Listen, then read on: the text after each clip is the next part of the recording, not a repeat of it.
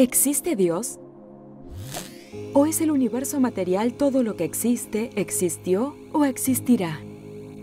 Una manera de responder esa pregunta es el argumento cosmológico. Y se formula así. Todo lo que comienza a existir tiene una causa. El universo comenzó a existir.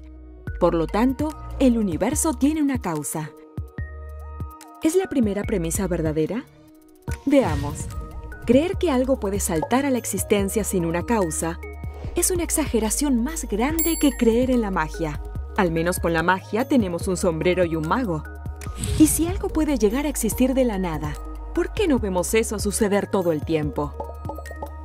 No, la experiencia cotidiana y la evidencia científica confirman nuestra primera premisa. Si algo comienza a existir, debe tener una causa. ¿Qué hay de la segunda premisa? ¿El universo comenzó a existir o siempre ha existido? Regularmente los ateos decían que el universo existió siempre. El universo simplemente está ahí y punto. Consideremos primero la segunda ley de la termodinámica. Esa ley nos dice que el universo se está quedando sin energía usable Y ese es el punto. Si el universo hubiese existido por siempre, ya se hubiese quedado sin energía usable. La segunda ley nos apunta hacia un universo que tiene un comienzo definido. Eso también es confirmado por una serie de descubrimientos científicos extraordinarios. En 1915, Albert Einstein presentó su teoría general de la relatividad. Por primera vez se refirió de una manera significativa de la historia del pasado del universo. Luego Alexander Friedman y George Lemaitre, que trabajaron con las ecuaciones de Einstein, predijeron que el universo se está expandiendo. En 1929, Edwin Hubble midió el desplazamiento al rojo de la luz de las galaxias distantes. Esta evidencia empírica no solo confirmó que el universo se está expandiendo, sino que surgió de la existencia de un solo punto en el pasado finito. Eso fue un descubrimiento monumental, casi más allá de la comprensión. Sin embargo, no todos están apegados a un universo finito.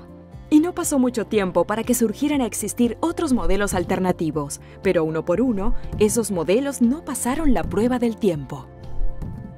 Más reciente, tres de los principales cosmólogos, Arvid Bord, Alan Good y Alexander Vilenkin, comprobaron que cualquier universo que en promedio se haya estado expandiendo por toda su historia no puede ser eterno en el pasado, sino que debe tener un comienzo absoluto.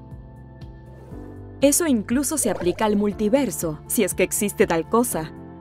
En resumen, los científicos ya no se pueden esconder detrás de un universo eterno en el pasado. No hay manera de escapar, tienen que confrontar el problema de un comienzo cósmico.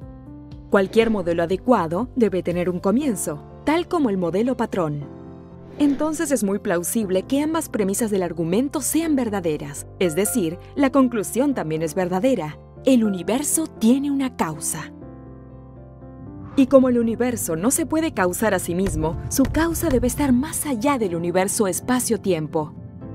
Debe ser sin límite de espacio, atemporal, inmaterial, no causada e inimaginablemente poderosa, muy similar a Dios. El argumento cosmológico demuestra que de hecho es bastante razonable creer que Dios sí existe.